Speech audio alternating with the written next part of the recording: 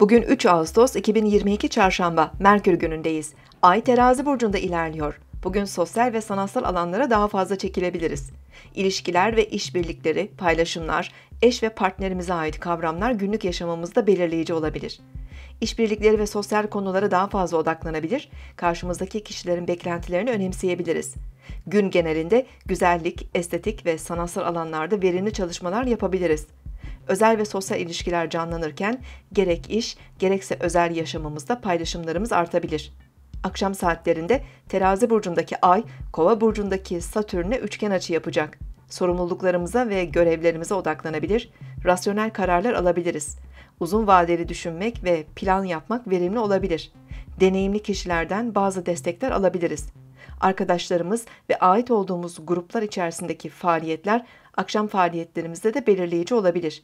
Kişisel özgürlüklerimizi önemsemekle birlikte sosyalleşme eğilimimiz bizi kalabalık ortamlara çekebilir. Siz de şimdi kanalımıza abone olun, yorumlar bölümüne sorularınızı yazın, sürprizlerimizden haberdar olun.